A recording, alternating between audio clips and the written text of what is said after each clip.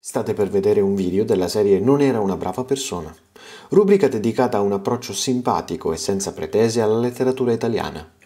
Come potete vedere, il titolo è seguito da una faccina con un sorriso al contrario. Tale faccina, detta anche emoji nel gergo visuale condiviso dalla società dell'immagine, indica ironia, scherzo. Ciò è volto a sottolineare che il suddetto titolo è ironico. Non dissacrante, non sarcastico, ironico. Avvertenze. La visione del video è sconsigliata a chi prende la vita troppo sul serio e chi non è disposto a tollerare approcci poco accademici allo studio delle discipline umanistiche. Peace and love, guys. Ah, quest'ultima cosa non è ironica, eh? Amiamo la letteratura italiana, è di una bellezza disarmante.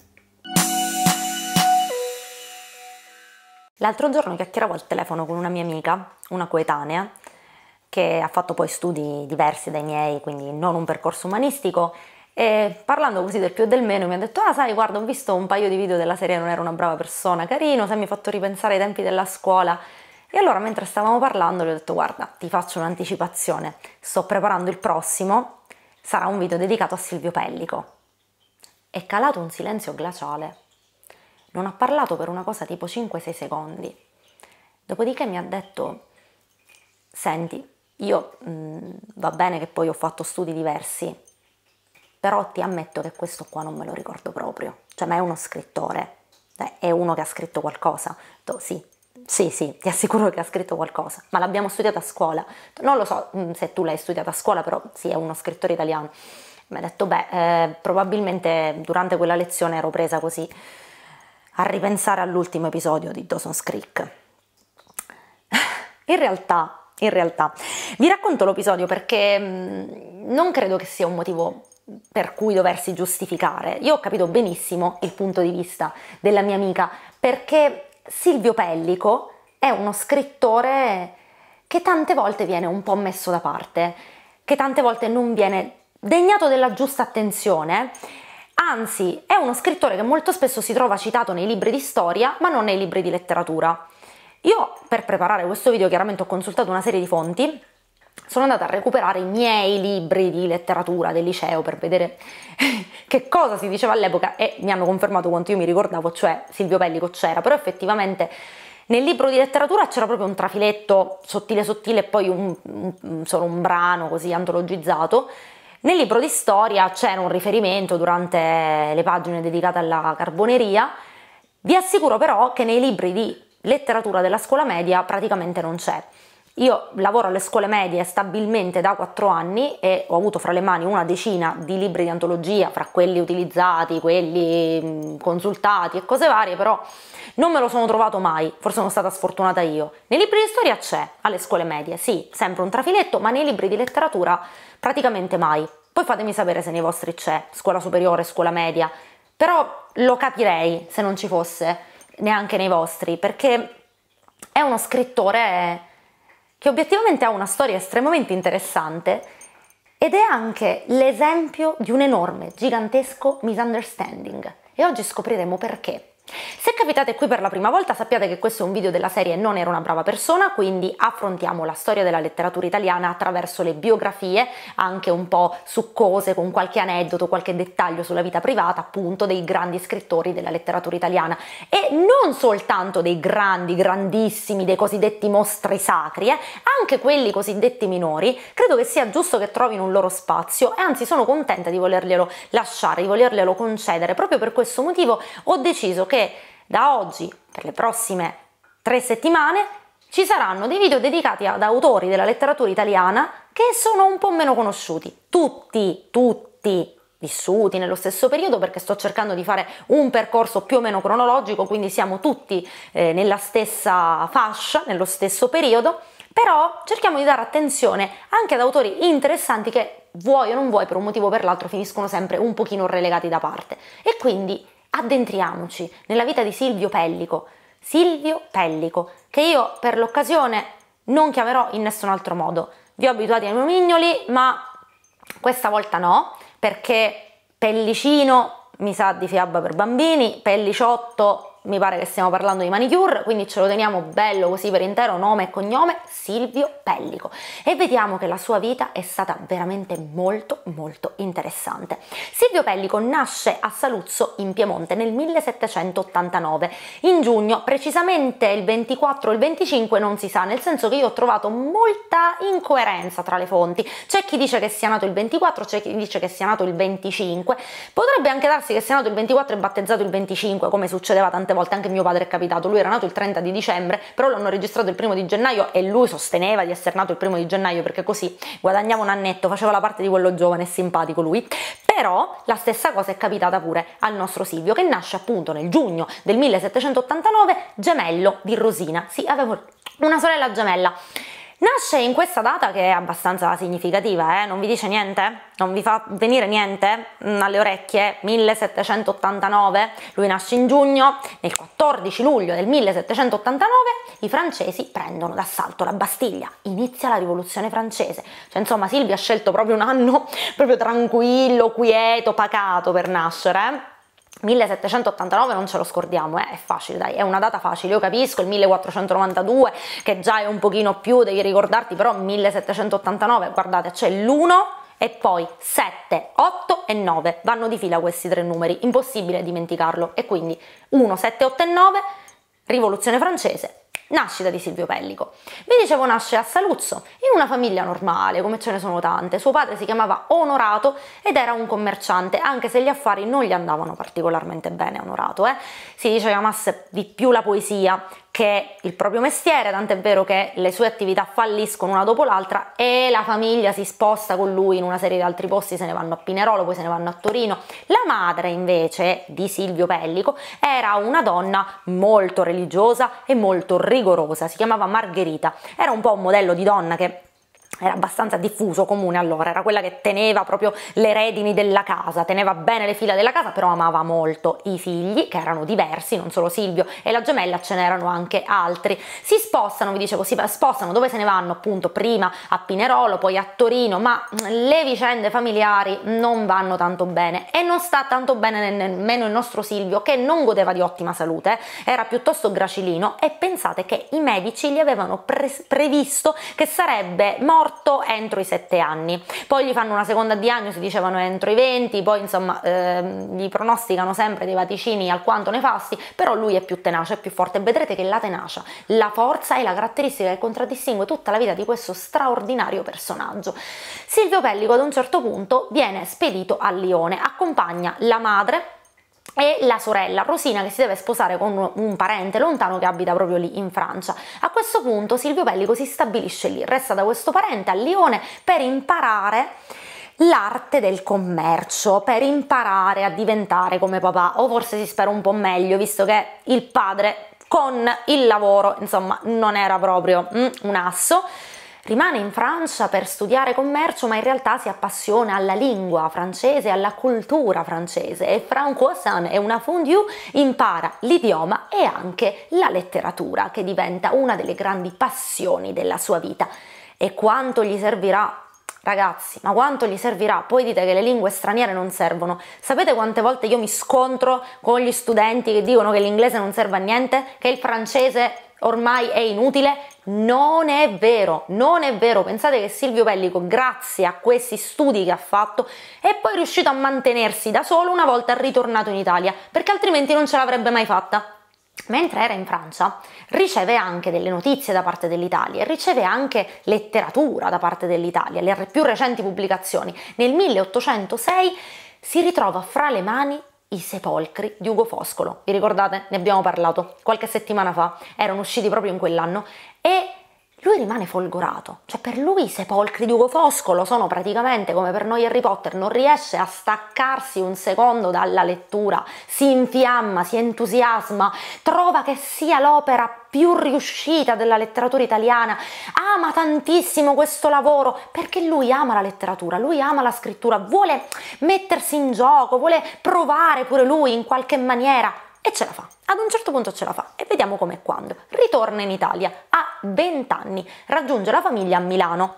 dove il padre si è andato a stabilire alla ricerca nuovamente di un impiego, visto che come vi ho detto insomma il fallimento ce l'aveva sempre sotto lo zerbino pronto, si stabilisce a Milano un po' insieme alla famiglia, poi la famiglia se ne va da un'altra parte, ma lui ormai ha trovato il suo posto, perché a Milano trova da lavorare. Come? Insegnante di francese. Avete visto che il francese gli è tornato utile? Avete visto che ha fatto bene a studiarsela questa lingua?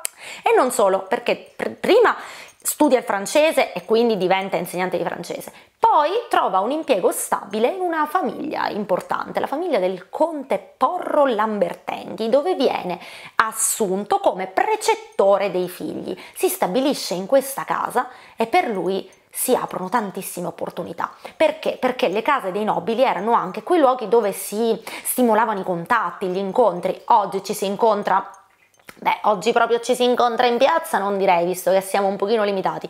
Però abbiamo i social, si incontra la gente, poi si spera che ad un certo punto potremmo anche ricominciare a fare un po' di vita sociale più. Mm? Però allora i salotti nobiliari erano l'ottima occasione per incontrare delle persone e chi incontra, incontra dei grandi nomi, incontra Stendhal, Byron, Vincenzo Monti e il suo idolo, l'autore dei sepolcri, incontra Ugo Foscolo e diventano amici. È una cosa bellissima perché lui è riuscito a diventare amico dell'autore del libro che adorava, cioè una cosa pazzesca. Diventano molto amici e lui nel frattempo comincia a scrivere. E vi sorprenderete perché la prima cosa che lui scrive non è saggistica, non è memorialistica, non è storia, scrive teatro, scrive testi teatrali, scrive tragedie. La sua prima opera si chiama Laudamia ed è una tragedia che viene acclamata anche dallo stesso Foscolo. Ora, Dobbiamo trovarglielo qualche difettuccio a Silvio Pellico, anche se vi dico che obiettivamente, obiettivamente con lui è molto complicata, perché lui è un po' il Gianni Morandi della letteratura, è uno che ha sempre cercato la pace, la quiete con le altre persone, non è uno che cerca, non era un attaccabrighe, non era eh, uno che coltivava vizi particolari, però un difettone ce l'aveva, questo glielo dobbiamo dire Silvio, un difettone c'era. Gli amici non se li sapeva scegliere Proprio no. Sapete quando uno si sceglie gli amici sbagliati, si dice te lo sei andato a cercare col lanternino, proprio l'amico, quello sbagliato. Ecco, lui aveva questa particolare dote per selezionarsi gli amici complicati che gli causavano una serie di problemi. Per esempio Vincenzo Monti, no? Vincenzo Monti ad un certo punto si pensa a questa cosa e gli dice, vero Silvio, perché non traduciamo tutto Byron e pubblichiamo una bella opera omnia di Byron e gli mettiamo sulla copertina il nome tuo e il nome mio e così ci dividiamo i proventi.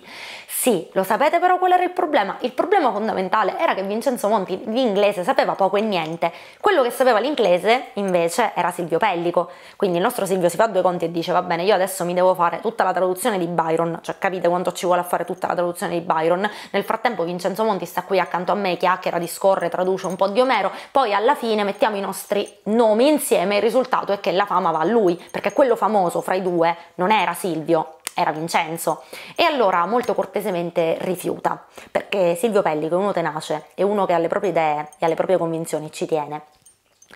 Vincenzo Monti non ci resta molto bene, eh? se la lega al dito questa, ma il problema non è soltanto Vincenzo Monti, cioè il problema con gli amici ce l'ha anche rispetto ad altri. Vi ho detto prima il suo più grande amico chi era Ugo Foscolo gli aveva fatto leggere la sua tragedia, gli era piaciuta e allora che fa? Ne scrive un'altra, un'altra, fra l'altro una bella di quelle tragedie sensazionali, forti, pazzesche, si intitolava Francesca da Rimini ed era ispirata al personaggio di Dante, però con una lettura più moderna, anche più al passo con i tempi. Ora, quando voi fate una cosa bella, qual è la prima cosa che volete fare? Cioè voi, eh, non so, vi esce fuori una torta perfetta dal forno, oppure scrivete una canzone che vi piace, fate un disegno e dite, sai che questa cosa mi è venuta bene. Che cosa fate? Lo condividete. Volete subito condividere questa gioia con un'altra persona? Lo mostrate a qualcuno a cui volete bene, qualcuno che vi vuole bene, lo mostrate a un amico, a un'amica, al fidanzato, alla mamma, a qualcuno che sapete che vi dirà ah guarda che bella cosa che hai fatto, oppure se siete un po' più intraprendenti lo condividete sui social perché così i mi piace saranno ancora di più e la vostra autostima cresce Sapete che non dovrebbe essere così, eh? L'autostima non dipende da quanti like riceviamo. Noi l'autostima ce la dobbiamo avere a prescindere, perché dobbiamo essere convinti delle cose che facciamo, non perché gli altri ci dicono che vanno bene. Quello può essere sì, un po' un rinforzo positivo, ma non è la cosa più importante di tutte. Comunque fatto sta che è umano che Silvio voglia che qualcuno gli dica hai fatto una bella cosa. E allora da chi se ne va? Ma ovviamente se ne va da Ugo, perché Ugo prima gli ha detto che la prima tragedia era bella. Sapete come finisce? Male, malissimo.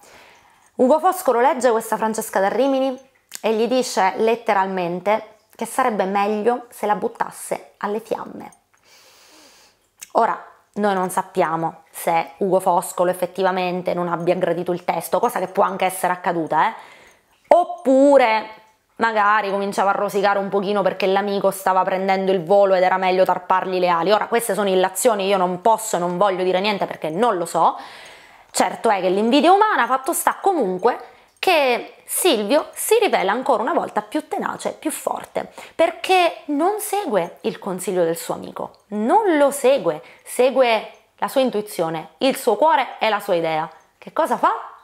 Continua a proporre il suo testo, la sua tragedia e nel 1815 va in scena e continuerà ad andare in scena per mezzo secolo, facendosi applaudire in tutti i teatri d'Italia. Al debutto la protagonista era interpretata da un'attrice giovanissima che allora faceva scalpore, si chiamava Carlotta Marchionni e la gente quando la vedeva andava in visibilio e, e lui era estasiato perché la sua tragedia aveva questa interprete. Voi pensate, è come se io oggi scrivessi una canzone e venisse interpretata da Lady Gaga, cioè per farvi capire no, la cosa, come si deve essere sentito Silvio Pellico in quel momento. Era ancora nessuno, non lo conosceva quasi nessuno e la sua tragedia viene interpretata dall'attrice più in voga dell'epoca. Che soddisfazione, eh? Che soddisfazione, caro Ugo. Chissà come deve essersi sentito contento e soddisfatto il nostro Silvio. Bene, passano i mesi, Passano gli anni, passa qualche anno, nel 1818 Silvio Pellico comincia a collaborare con una rivista recentemente fondata, un periodico che si chiamava Il Conciliatore. Viene avvicinato a questa idea da un musicista italiano, Piero Maroncelli, che diventa suo amico.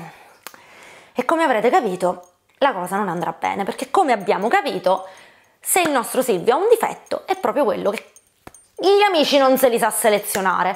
Lui e Piero Maroncelli diventano molto legati. Piero Maroncelli è un patriota, sposa la causa anti-austriaca, vuole l'Italia indipendente, vuole liberare questo nord sotto il piede straniero. E allora cominciano a scrivere entrambi per questo giornale. In realtà diciamo che Silvio Pellico era, doveva fare il segretario ma fondamentalmente era proprio il direttore perché poi metteva insieme tutti questi articoli alcuni li scriveva alcuni poi li coordinava Escono dei numeri, però la censura austriaca lo guarda di cattivo occhio e viene sempre più tagliato, sempre più seghettato, fino a quando nel 1819 le pubblicazioni sono sospese perché veramente gli austriaci impediscono la libera, la libera stampa, la libera espressione del pensiero. Ma i problemi non sono ancora finiti peggiorano. Peggiorano perché Silvio Pellico si avvicina ad un gruppo famoso, un gruppo clandestino, si chiamava la Carboneria, penso che questo nome non vi sia nuovo, e si avvicina a questo gruppo sempre perché chi è che lo aveva invitato ad andare lì? Piero Maroncelli.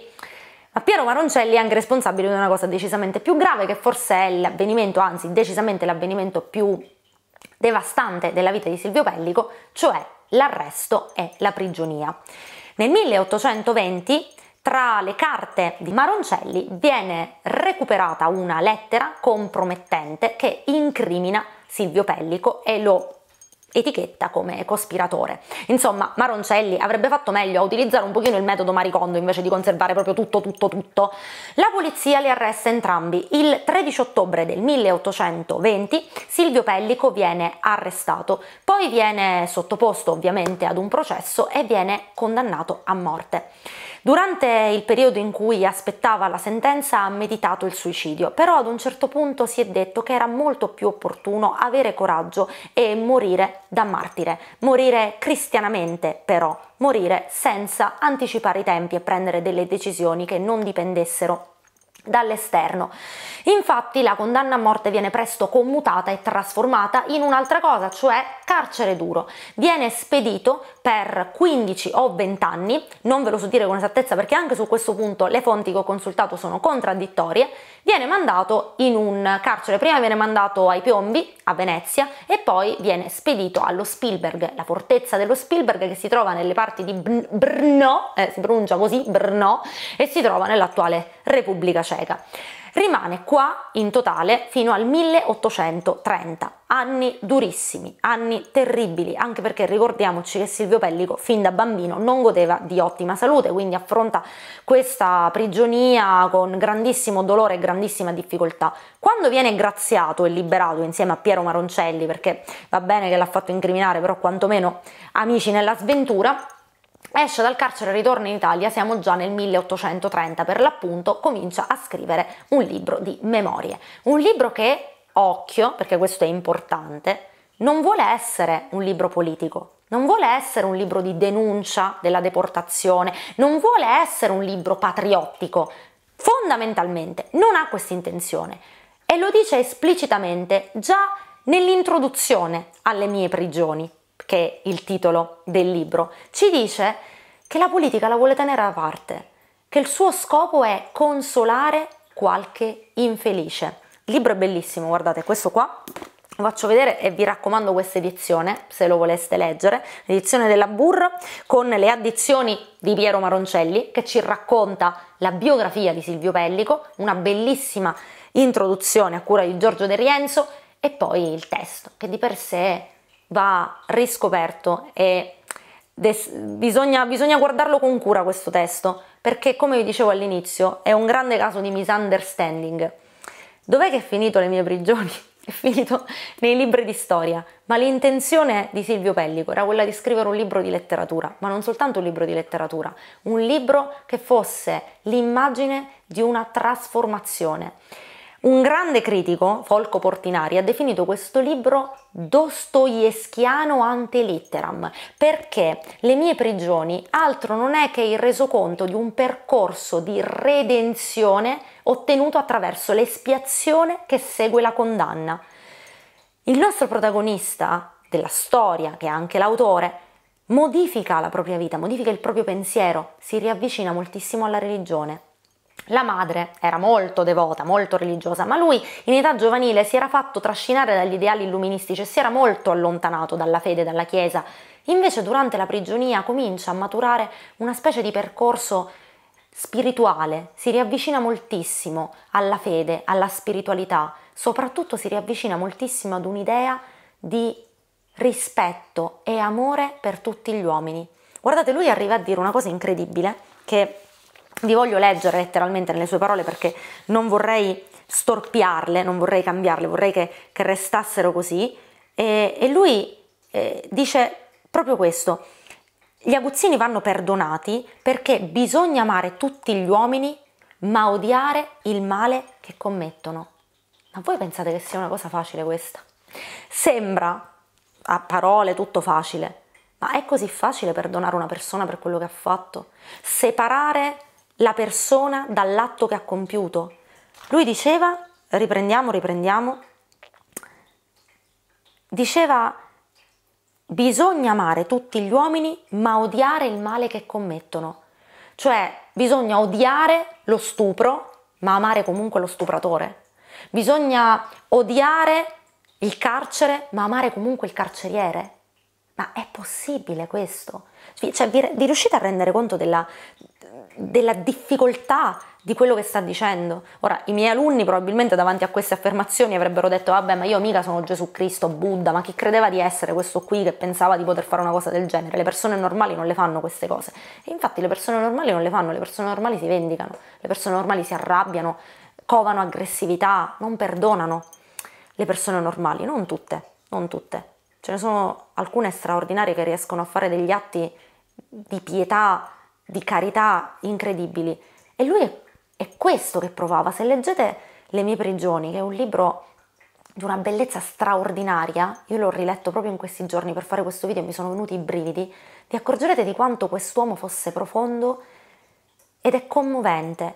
Lui arriva a riconoscere l'umanità in tutte le persone, persino nei suoi aguzzini. C'è un capitolo bellissimo, uno di quelli antologizzati più spesso, perlomeno nei libri delle scuole superiori, sempre perché in quelli delle scuole medie non si sa perché, vabbè si sa, il tempo è poco, un po' lo leviamo.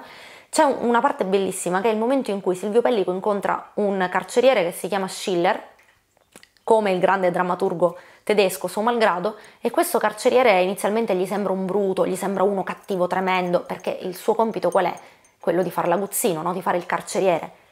Però ad un certo punto Silvio e Schiller cominciano a parlare e Silvio si accorge che quest'uomo non è il ruolo che sta svolgendo, che quest'uomo non è il male che è stato chiamato a svolgere per forza di cose, per necessità, perché un lavoro gli serviva e quindi svolge un lavoro detestabile pur non volendolo fare.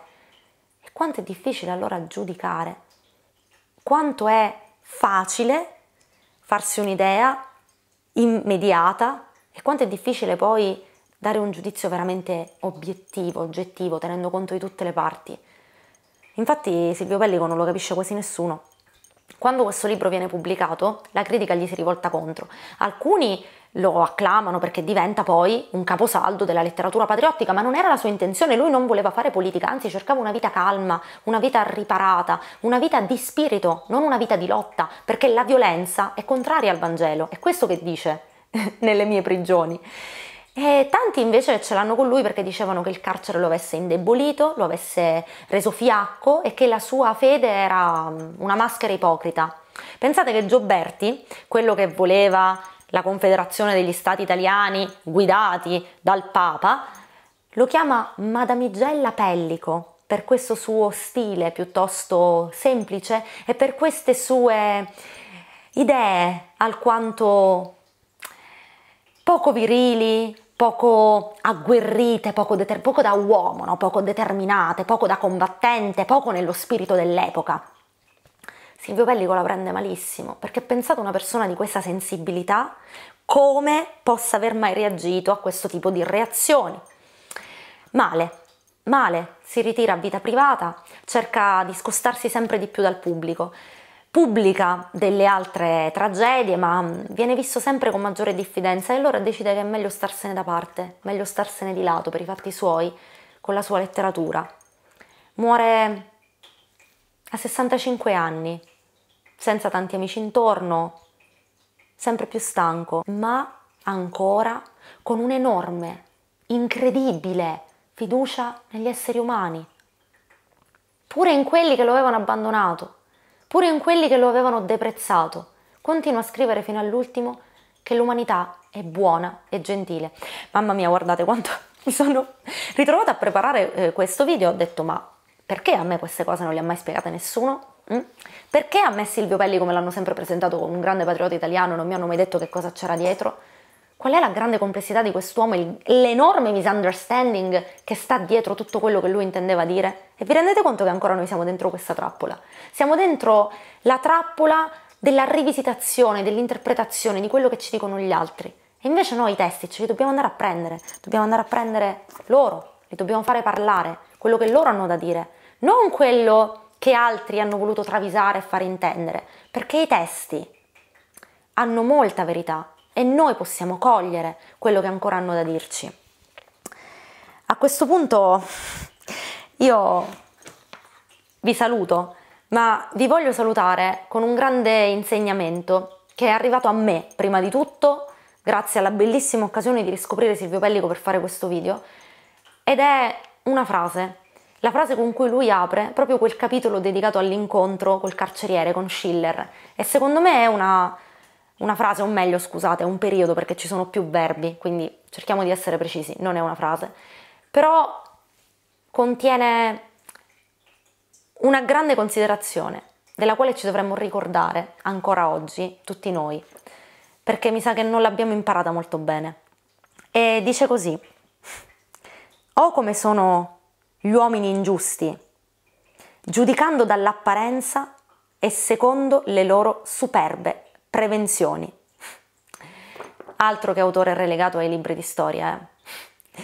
Silvio Pellico ci hai dato così tanto e noi ancora così tanto dobbiamo imparare.